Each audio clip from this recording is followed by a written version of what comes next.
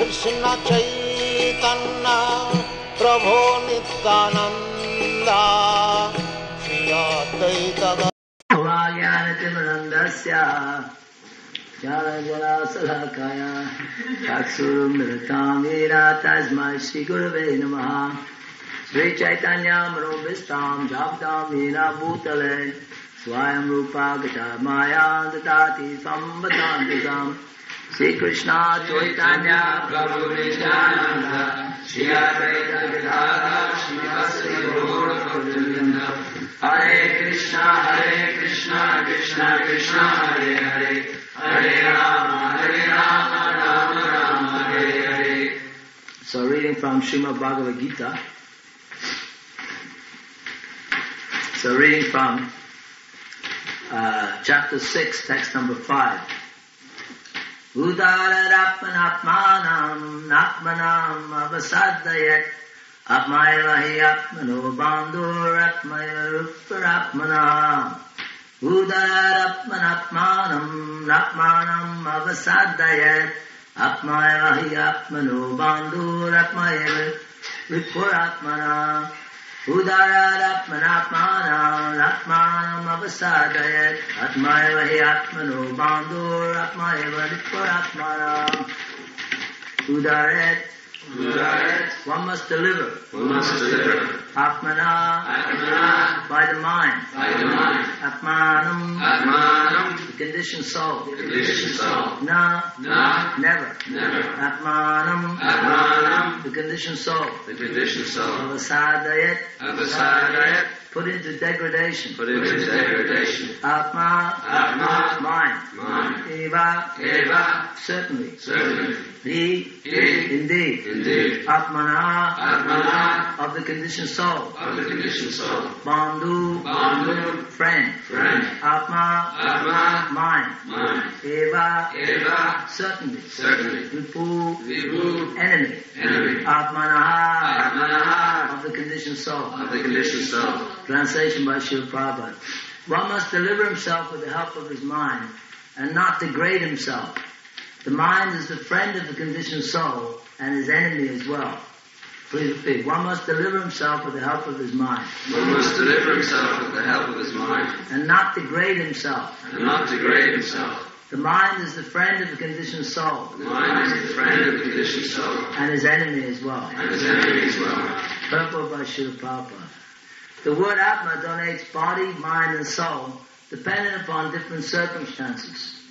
In the yoga system, the mind and the conditioned soul are especially important since the mind is the central point of yoga practice. Atma refers here to the mind. The purpose of the yoga system is to control the mind and to draw it away from attachment to sense objects. It is stressed therein that the mind must be so trained that it can deliver the conditioned soul from the mire of nescience. In material existence, one is subjected to the influence of the mind and the senses. In fact, the pure soul is entangled in the material world because the mind is involved with the false ego, which desires to lord it over material nature. Therefore, the mind should be so trained that it will not be attracted by the glitter of material nature. And in, and in this way, the conditioned soul may be saved. One should not degrade oneself by attraction to sense objects. The more one is attracted by sense objects, the more one becomes entangled in material existence. The best way to disentangle oneself is always engage the mind in Krishna consciousness. The word he is used for emphasizing this point, that one must do, that one must do this. It is also said, Mana eva karanam bandha mukshayo bandhaya vishaya sango muktya vishayam mana. For, ma- for man, mind is the cause of bondage. A mind is the cause of liberation. Mind absorbed in sense objects is the cause of bondage. A mind detached from sense objects is the cause of liberation. Amrit Bindu Upanishad 2. Therefore the mind which is always engaged in Krishna consciousness is the cause of supreme liberation.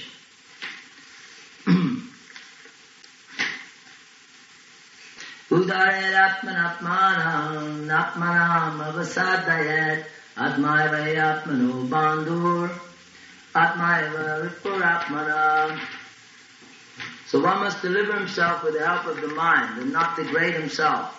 The mind is the friend of the conditioned soul and his enemy as well.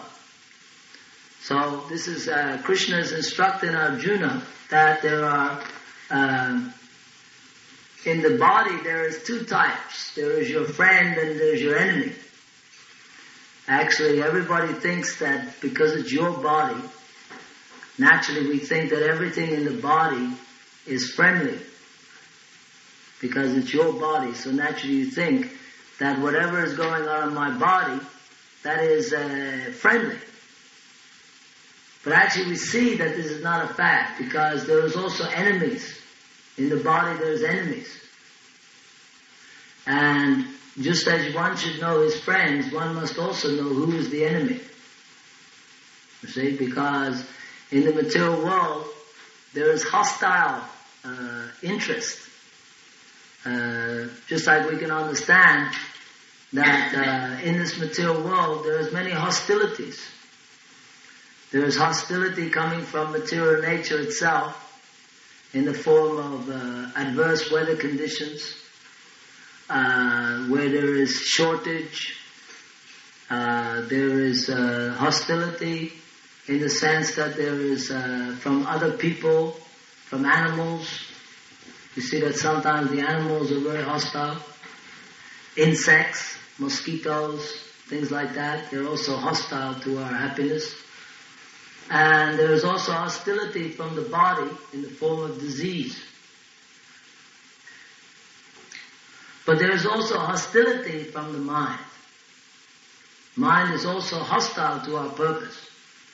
Because the nature of the mind is that the mind is the medium by which material energy works. You see, material energy, as Krishna says in the Bhagavad Gita, that Maya has captured some strategic points. Just like when an enemy takes over a city, then it, it, it always captures some strategic point. The television station is usually the first thing, the radio station, the television station, the airport. These are things that are first captured. If you're going to win a battle, then if you're attacking a city, then you have to capture strategic points. It's no good capturing the sweet shop. If you say, oh, I went and I captured the tobacco shop, sweet shop, newspaper shop. You have to go to where is the center of communication. You see, communication is the thing which influences, just like in any country. The radio is always saying, long live the Prime Minister or the President, long live the Queen, and uh, everyone's going to be happy if they vote Labour or if they vote uh, Conservative, or so many propagation is going on. Propaganda. So this propaganda work is actually uh, influencing the people. And similarly, in the material world, there is also propaganda. There is so much propaganda. And that propaganda is coming from the mind. You see, the mind's business is to drag the living entity, the soul, down, down, down, down, down. The two businesses of material energy is to cover over and to drag down.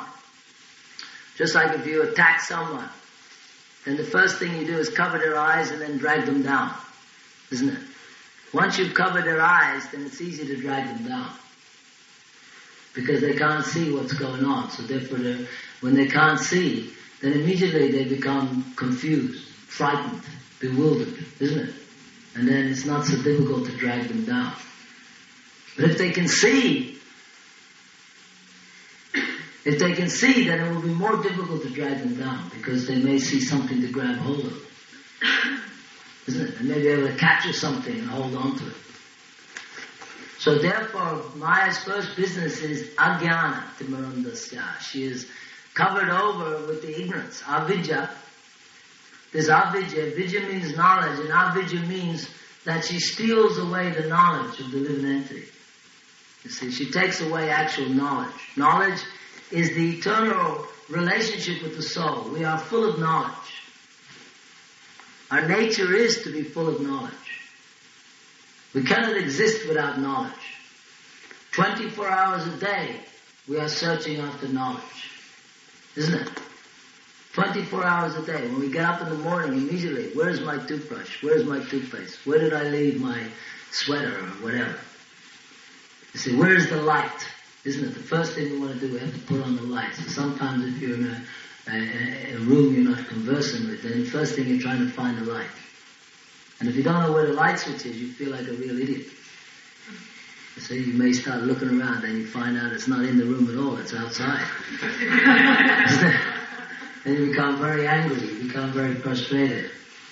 Because you're thinking you know, but you don't know, so you become frustrated. Because by relative terms, you always think the light should be inside the room, but sometimes it's outside the room. You see, relativity. So therefore, we are searching from the moment we get up. Throughout the day, we are always, uh, if you like, inspecting. By our very nature, we are inspecting. Uh, we want to bring everything into an inspective mode so as that to see what is favorable and what is unfavorable. Everyone is inspecting the material world. The nature of inspection is we want to see what is favorable. Just like when food comes along, you inspect it, isn't it? What do you do when you see prashadam? You inspect. Is there any curd sabji there? Is there any pakoras? Any samosas today? You see? And if it's just uh, uh, boiled, uh, uh, what do you call this? Uh, uh, parsnips. and you think, oh, cheated again. Krishna doesn't like parsnips. So therefore, uh, our very nature, our very nature is to inspect and that inspection is based upon what is favorable. We are always looking for that which is conducive to our happiness. You see, that's why when you are looking around in the material world, everyone is looking. We have eyes, and we are observing phenomena, different types of phenomena, and we are seeing those things which are very tasty for ourselves. Just like a boy meets girl. So the boy is looking for a very tasty girl. And the girl is looking for a very tasty boy. You see? And if they don't look, if he's got cross eyes and his nose is falling off, then they don't look twice. You see? This is the nature. So everybody is trying to look very tasty. Because in the material world, everything is based upon rasa. Rasa means that thing which gives taste. You see, something which looks beautiful, it gives taste. Just like if you look at a, at a nice car, very well designed, you get some feeling that this is very nicely uh, designed. If you look at a flower, if you look at a, a, a sunrise or a sunset, it's very tasty.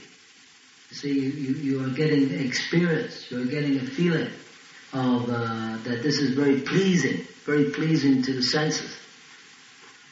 Whereas if you look at a dead body splattered all over the road, then it's not very pleasing, is it? That same thing. The body, which is so beautiful, but if it's in a different condition, you see, just like if you if you uh, have a body which is very nicely decorated with uh, nice figure and beautiful clothes and nice perfume, etc. But when the same body is splattered somewhere, you don't want it. Because we are after, what we're actually looking for is perfection. We are looking for perfection in an imperfect world. You see, we are trying to find something perfect in the imperfect. So therefore the nature of Maya, illusion, is that she uh, covers over the uh, knowledge of the living entity. And this is called condition, conditional life. We are put into different conditions. Just like every body has a certain conditioning. Someone is uh, conditioned by the fact that they were born in a particular country, they were brought up just like uh, psychology. They always bring you back to your childhood, isn't it? They always bring you back to your childhood to find out what experiences you had which made you like you are now, isn't it? Psychology. This is called conditioning. If you were brought up by a very dominant parent or a very cruel parent, then you'll have psychotic uh, disturbances, or you may be uh, uh, in some way psychologically disturbed. And you find that if you're brought up in a very poor country, in a very uh, neglectful way, then there should be other types of disturbances. So these are called conditioned. The living entity is conditioned. And these conditions, they are actually the uh, uh, Uh, brought about on account of association with matter. Actually, we have nothing to do with these conditions. We have nothing to do with the material condition. The material condition is a phantasmagoria. It is only lasting, just like when you were a child, so many different conditions you were in. You were at school, you were five years of age, you were quarreling over the duck in the pond or something like that. There's plastic ducks, you know. You see children fight over these little ducks. All of these things you've done. You've gone through so many different situations. Now they're all simply a dream.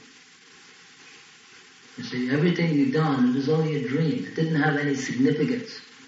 It's just a creation from your mind, in one sense. but you create so many different situations. Uh, like now, we see that we are thinking that I am a 20 year old or a 30 year old and I'm this and I'm that and this is my mother, this is my father, this is my brother, this is my sister.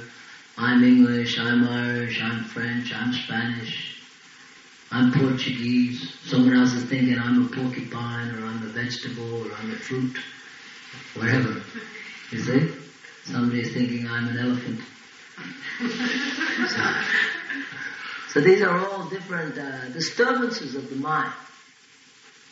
You see, they're all actual disturbances of the mind. The mind has nothing to do, the, the uh, soul has nothing to do with the mind. It has nothing to do with the material body.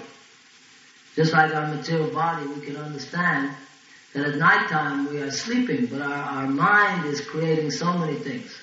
Sometimes we've been attacked by a tiger, sometimes we're running after money, falling in love, jumping off a mountain, flying in the sky. So many things are going through the mind. But in actuality, the body is doing nothing, lying there doing nothing.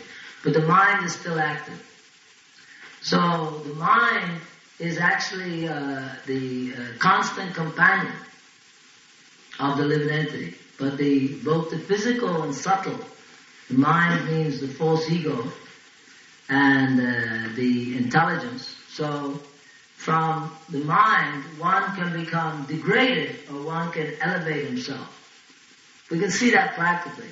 In this life, we can become degraded. It's not difficult to become degraded. You can go take intoxication, hang out with the wrong sort of people. Uh, gradually, gradually, you become degraded. And also, we can become elevated by the mind. But it depends upon association. So, therefore, we have to choose the type of association that we want. If we want to associate with the mundane, if we want to associate with the temporary world, if we want to come under the clutch of Maya, illusion, then we make that choice. We have a choice. We cannot blame God for our predicament. Just like in the material world, when someone is successful, then they blame themselves for their success, isn't it? They say, well, due to my good scheming and my business sense and due to my uh, uh, wonderful brain, I was able to make all these millions. Well, when everything goes wrong, they blame it on God. As soon as things go wrong, they say, there couldn't be a God. How could he do something like this? You see? They don't give God credit for creating all the beautiful beach resorts and holiday camps and beautiful big skyscrapers or whatever. But they say that God, He creates all the misery. He gets all the blame. They get all the credit and He gets the blame. You never see anyone giving God the credit for creating uh, the um, uh, jumbo airplane. But when it crashes, they give him the blame. Isn't it? How could God do that to these poor women and children and men that were sitting in this nice airplane watching TV or cinema and having their dinner? How could He do such a horrible thing? But when they bring in Concorde, God doesn't even get a mention. It's not until it crashes. So that's the nature of the living entity that we want to take the credit, but we don't want to take the blame. But actually, the Bhagavad Gita explains that we are in our condition because of our own fault. We have no one to blame. Whatever situation you're in in this world, you are there because of your fault and your fault only. So this idea that God, God creates catastrophe, no, He doesn't. Actually, God arranges catastrophe because that is what you are due. Just like in, the, in, the, in this country, they arrange the prison house, not because people want to go to prison. Isn't it? It's not because that everyone's queued up for some holiday in, in the prison. You see? The prison is there because of the activities, because of the uh, rebellious activities of a certain uh, small number of uh, citizens. If the citizens uh, refuse um, to acknowledge the authority of the laws of the state, then they become criminal and they have to be subjected to punishment. The idea of the punishment is actually, excuse me, the idea is the punishment is to reform. You don't put people in prison because you want them in prison. You put them in prison because you want to reform their character. You want to reform their nature. So human form of life is the opportunity to reform yourself. You have to reform yourself. If you don't, then again you will have to go down into repeated birth and death in various types of species. Because you will be dragged there by the mind. You see? The mind in association with the modes of material nature is uh, creating 800, 8,400,000 different types of bodies. So just like when you go into, sometimes you see people in a, in a shop, there's all different types of clothes. If you want to be a lumberjack, you buy lumberjack stuff. If you want to be a, a, a builder on a building site, you buy building site. If you want to go to the discotheque and show off, you buy those clothes. If you want to be a, a judge, you buy those clothes. If you want to be an actor on the theater, you buy those clothes. You see? If you want to go swimming on the beach, you buy those clothes. Isn't it? So the clothes are according to the desire. It's not that you create the people to fit the clothes. You understand? It's not that you create all these different types of clothes and then try to create people to fit in them. So similarly, the gross is coming from the subtle. The subtle creates the gross. And then the gross dictates to the subtle. This is the, what we call the samsara, the process of samsara, the interaction between subtle and gross energy. So just like we create a pub, but then when we go to the pub, we get dictated by the pub what we're going to do. You see, people create the pub. What is the pub? People like to go to the pub, isn't it? Once you enter the pub, then there's a little disco music, some drinking alcohol, some meat eating, some intoxication, smoking. You see? So once people go into the pub, they become a victim of the gross. And then the subtle mind is thinking, oh, I better go and get another drink. I better have a smoke. I better eat some meat. I better go and chat that girl up and see that if she's ever met such a handsome guy as me before. how lucky she is. I better go and tell her how lucky she is to be in the same bunk as a guy like me. So this is the way the, the, the subtle is being dictated by the circumstances. You see? And then implication. As soon as you implicate with that, you get subjected to karma. Karma is the reaction from the action. So then this reaction causes more action. You go up to the beautiful girl, talk to her, and then she says, okay, let's go and have dinner, and then you go to a restaurant, and you spend all your hard-earned money, and then she buzzes off. Thanks for the meal, or something like that. And then the guy is left there on the middle of the road, stranded, all his money gone, thinking that he would get some more, further pleasures. So that's similar like in the material world. We come in here, we are here for a very short duration of time, we are concocting so many different dreams that we're going to do this and we're going to do that and things are going to get better and things are looking good now. You know, I just got a pay rise and uh, this thing and that thing. And then gradually we see that all of these phantasmagorias, they gradually, gradually disappear. And all we're left with is old age, bronchitis, lumbago, arthritis.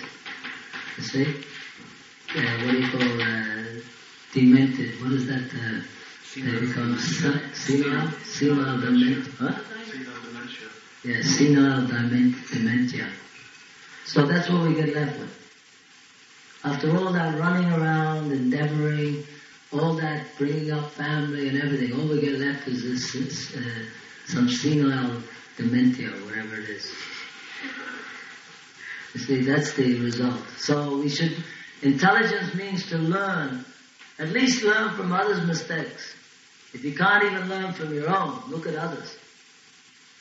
The best intelligence is to hear. You see? The best intelligence is to hear. By hearing from the transcendental plane, then one can immediately be picked up. One can immediately be picked up from this uh, mundane world. So this transcendental sound is descending from the highest plane.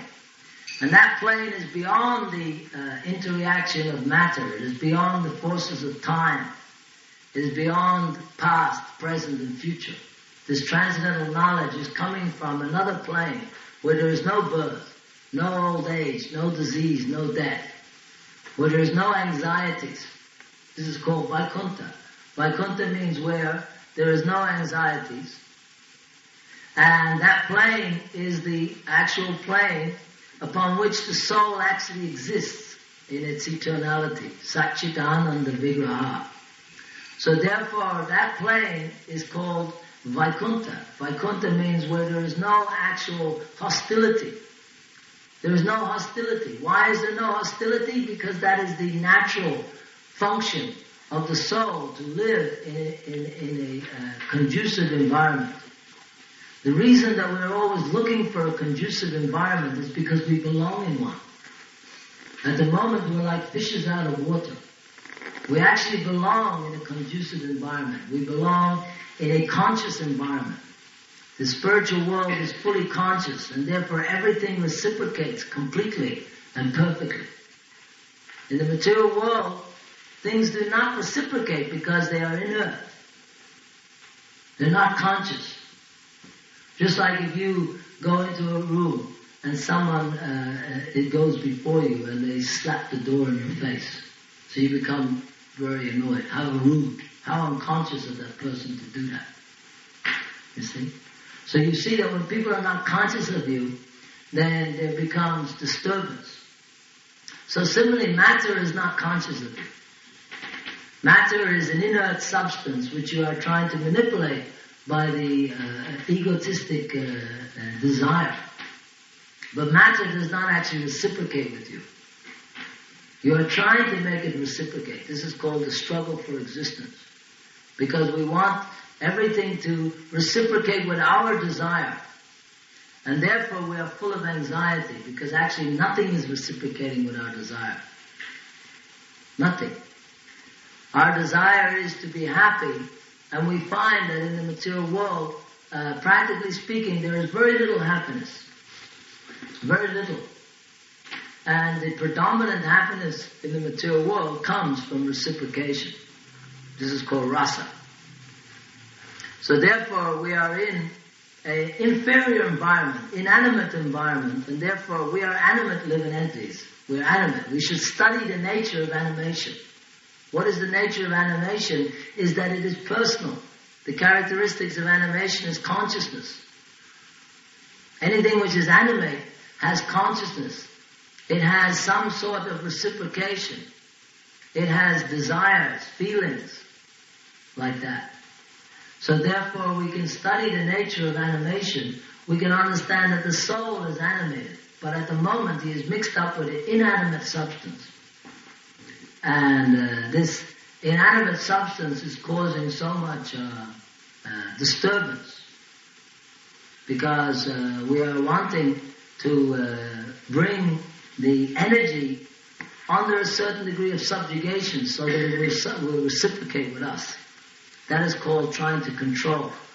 The reason we try to control is because we want something to reciprocate with us, isn't it? That's why everyone is trying to control. And unless we can have control, we cannot have reciprocation. So therefore, in the material world, that control comes with a great struggle because actually the material energy is always more powerful. Mama Maya Duratiya. So Krishna explains in the Bhagavad Gita that actually you can never control the material energy. You're always controlled by it. And therefore your nature is your servant, where our nature is to serve. But instead of serving our mind, instead of serving our material desires, we should try to serve the controller of this material world. That is Krishna. That is God.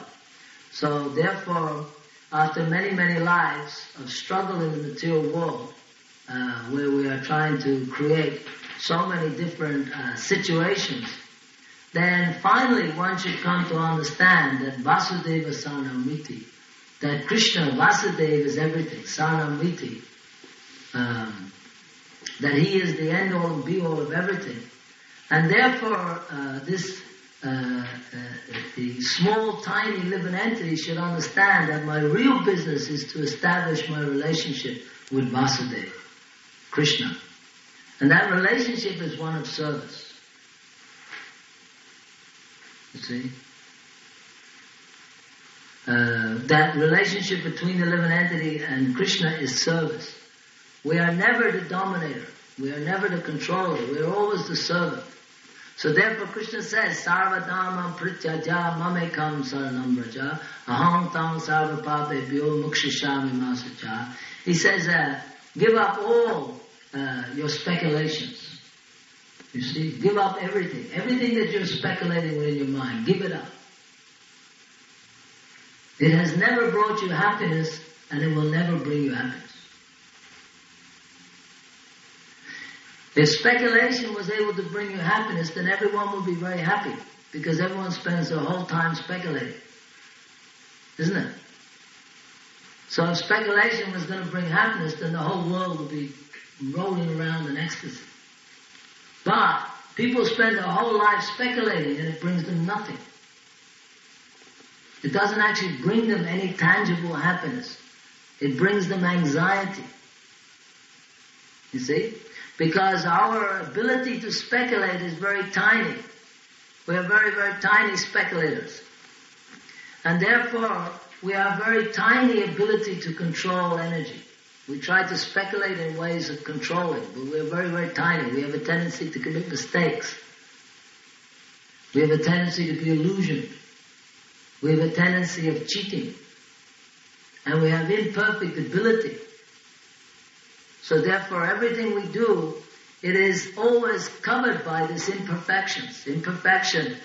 So therefore, we see that instead of actually finding solutions to our problem, we actually increase the problems because the process is, is dysfunctional, it's wrong. Therefore, the business in the material world is we have to hear.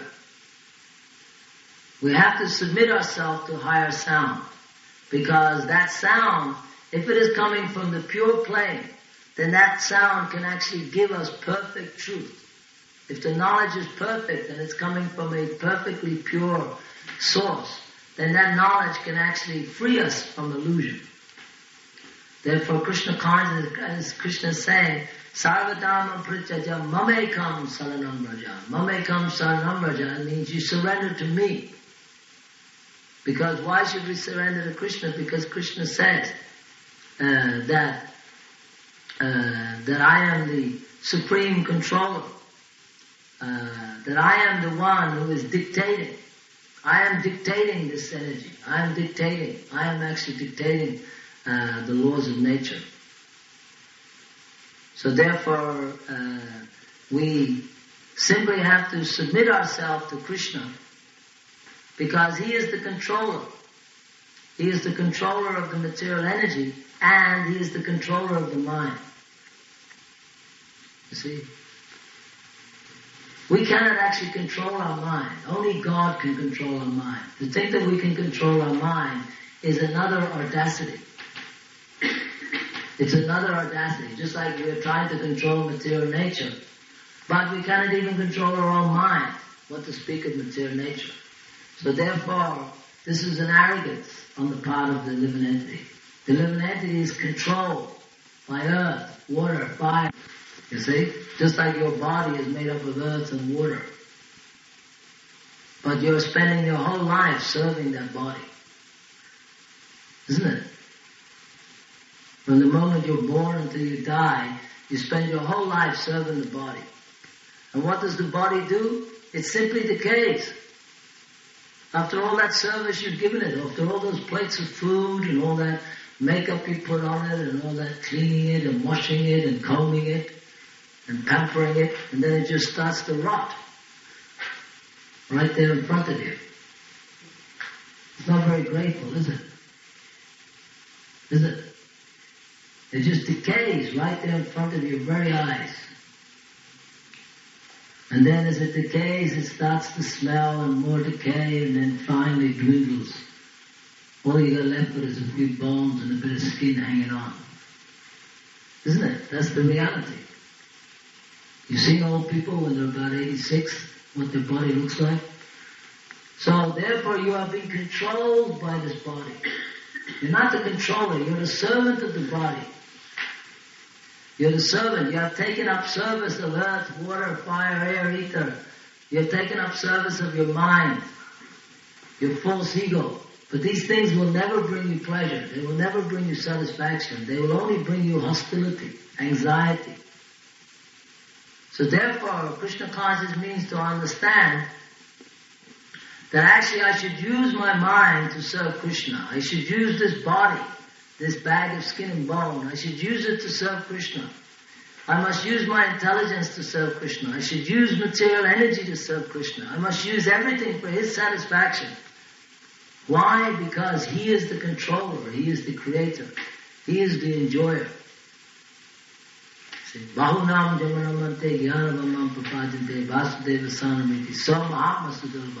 But to do that, I need to be very broad-minded.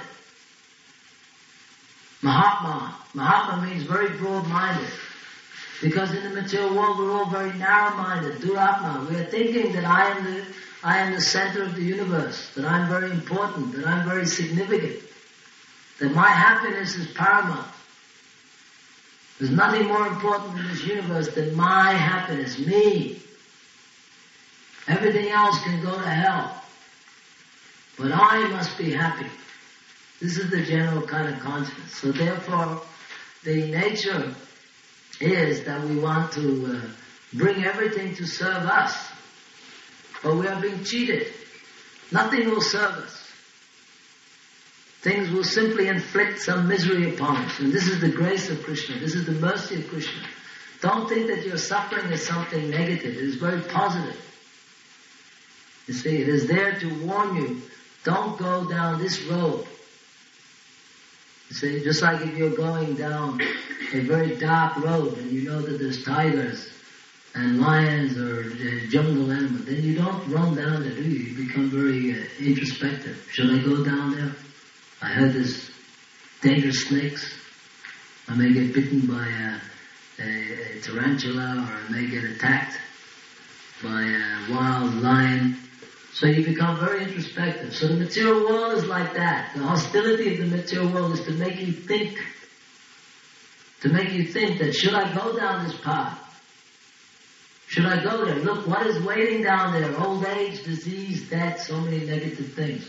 Therefore, the intelligent person can understand that I should not follow this path. I should not go down this road, but rather I should go to the other road. What is that? I should elevate my consciousness to go back to home, back to Godhead. By chanting Hare Krishna, Hare Krishna, Krishna Krishna, Hare Hare, Hare Ram, Hare Ram, Ram Ram, Hare Hare. So, as Krishna said, for him who has conquered the mind, the mind is the best of friends, but for one who has failed to do so, his mind will remain the greatest enemy. So conquering of the mind is when we surrender the mind to Krishna. As soon as you surrender your mind to Krishna, then the mind actually becomes your greatest friend. And as soon as you uh, try to uh, serve your mind, as soon as you try to dominate matter, to manipulate matter, to utilize matter, then your mind becomes the worst enemy. No greater enemy than the mind. There's no greater suffering than the mind. Any disease that you get in this world, it is nothing to the misery of the mind. That's because the mind is the, the key factor And therefore Krishna inflicts the maximum displeasure from the mind so as that you do not take shelter of that mind. So that's his cause his mercy. So, because if you take shelter of your mind, then you may again be degraded down into various species. So therefore, Krishna makes your mind the most unfriendly, so that you can understand, I should not befriend this person. You see, just like if you're with a very nasty person, then you don't want to be with him. Isn't it? You don't want to be with him. So similarly, this material world is a nasty place. Actual nasty. But we're thinking somehow or other we can change it. But actually this material world is no place for a gentle, a gentleman, as Srila Bhakti Siddhanta Saraswati used to say. Because it is hostile to our real interest. And therefore we should not try to associate with this. So basically the best thing to do with the mind is to engage in Krishna service. Don't try to associate with it. It's not you. Just like you don't try to associate with your skin or your body because it's not you. So similarly, you have to move on to another level where you don't associate with the mind. But our trouble is that we want to absorb ourselves in the mind. And then we're wondering why we are suffering. So therefore, the mind should be always engaged. Because if the mind is not engaged properly in Krishna's service, then it becomes the greatest enemy. Because then it degrades you.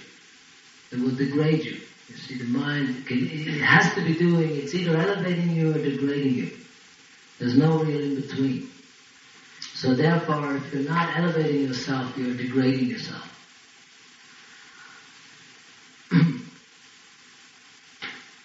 so Prabhupada said it is stressed herein that the mind must be so trained that it can deliver the conditioned soul from the mire of nescience.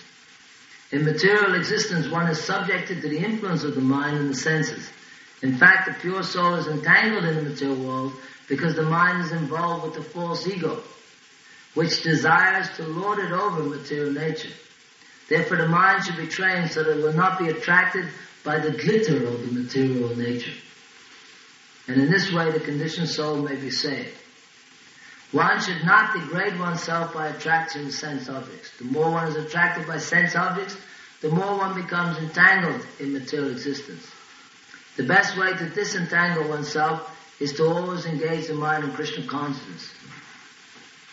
That uh, the, the, the best way to disentangle oneself from the mind is to always engage the mind in Krishna consciousness. Hmm. So therefore, the only way that the mind actually can be uh, free from the material attraction is by tasting superior attraction. And the most superior attraction is Krishna. So therefore, if one can actually become attracted to Krishna, then one can be saved from the degradation of the mind. But if one does not become attracted to Krishna, then one cannot be saved. Because the material energy is so powerful that if you're not attracted to Krishna, then you will become power, attracted to the material world.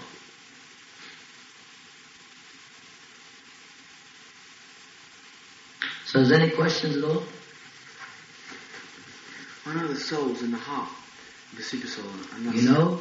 No, no, I've been told, read in the book, You read in the told okay. I thought you knew. Oh. And it's spreading, and I've been told it's been spreading the consciousness throughout the whole body.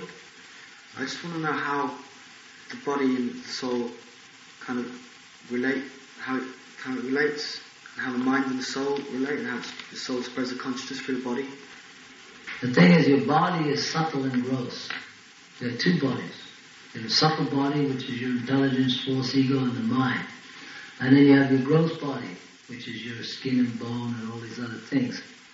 So consciousness is actually has nothing to do with the subtle or gross body. These are alien elements. Consciousness actually originally is coming from the soul, just like sunshine is coming from the sun. But if you uh, put this sunshine through uh, a glass prism, then the, when it comes through the prism, it will come out different colors. You see? So originally the color of the sun is pure, but when it comes in contact with the glass, it becomes transformed. Similarly, consciousness originally is pure, but when it contacts with the subtle and gross elements, then it becomes pervertedly manifested in false ego. And uh, that false ego is the false identification with matter as a reality. So the connection between the soul and the body is, is coming from the false ego of the mind. Therefore Krishna says in the Bhagavad Gita, Ahankara Vimudhatma, that by identification with the false ego, one identifies with the, the mind. The mind means that this is the subtlest point of identification is your mind. You are thinking, I am this body, I am this mind. My name is Timmy Harrison. I belong to Swindon. This is my mom. This is my dad. This is Pussycat.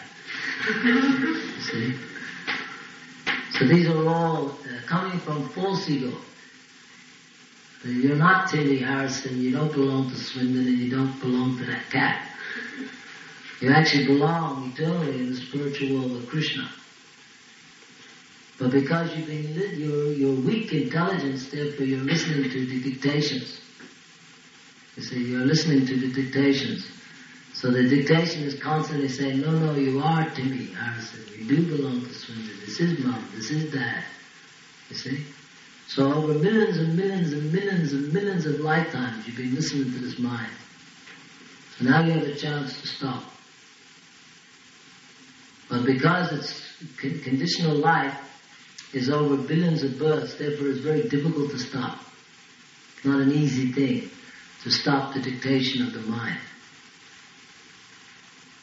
But only when you can realize your real ego, when you can understand that actually, when you have practical realization, not sentimental idea, but actual practical realization that I am the eternal servant of Krishna, then you have no longer, then your mind becomes Vrindavan.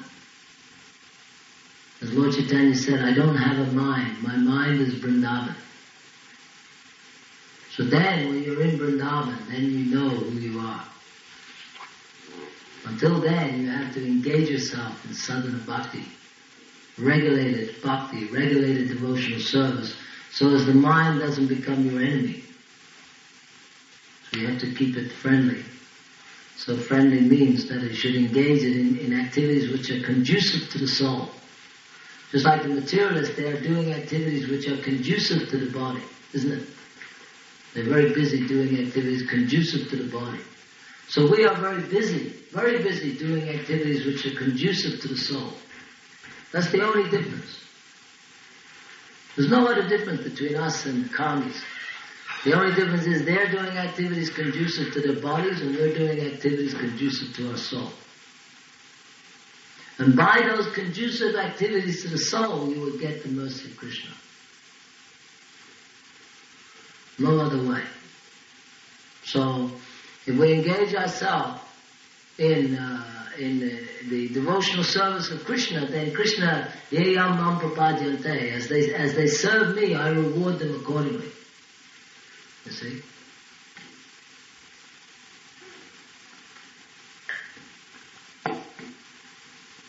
Any other questions? Any arguments, points?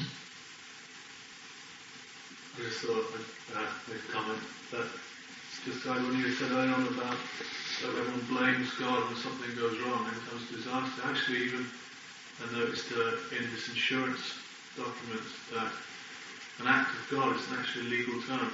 So like Yeah. disaster, so even everyone considers like an earthquake Yeah, an yeah. act of God. Yeah. That's sort of what it is. Yeah, that's the nature. They want to, they, they're very quick to blame, but not to give credit. You see, even the atheists will blame God. Because as soon as anything goes wrong, everyone goes, oh God. Isn't it? In other words, when things go wrong, then God comes into the picture. But when they go right, who cares about God? You see? So that's their nature. Because everybody knows there's a God. Everybody knows there's a God. It's just that they don't want to admit it. But if they are going to admit it, at least admit it when everything goes wrong. Then get the blame. Put the uh, blame on him. But that's the nature, you see. Uh, but when things go right, it's got nothing to do with God. Carmen Mum said it was my my acts that brought about this. Uh, just like we always think that because I did this, because I did that, therefore how wonderful I am. But then when it goes wrong, then we curse God. They said we never blame. Nobody likes to blame themselves for anything. Any other questions? Um, Lord Chaitanya was Radha and Krishna combined, but um, he was also feeling separation from Krishna, which, which kind of confused me a bit because I'm very stupid. So it'd be nice if you could explain. Lord Chaitanya is the internal manifestation of the combination of the, of the love between Radha and Krishna. So the when Krishna wanted Krishna you see is God. Krishna is unlimited.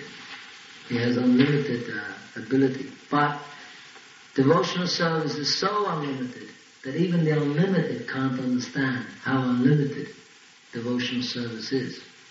So therefore Krishna wanted to understand the love that Srimati Radharani has for him. So he couldn't, even though he's God, he could not understand the depth of that love because it was so deep. So therefore, in order to understand that love, he uh, manifested himself as Lord Chaitanya. Lord Chaitanya is the, if you like, the personification of the love that is there, the attraction. It's actually the, the personification of the attraction, the attraction that Radharani feels for Krishna. So therefore, he's in the mood of separation, because the highest type of feeling in the spiritual world is separation. There's no higher. Just like now, you are separated from your cat, so you you remember your cat better, isn't it? But when you're there, there's also a feeling. But when you're away, then there's even more feeling. Oh, if only I saw my mom, my dad, this and that, so many things, or my girlfriend, or whatever attraction is there. So when you're away from it, it's even stronger. It's more subtle, but it's actually stronger. Familiarity breeds content, even in the material world.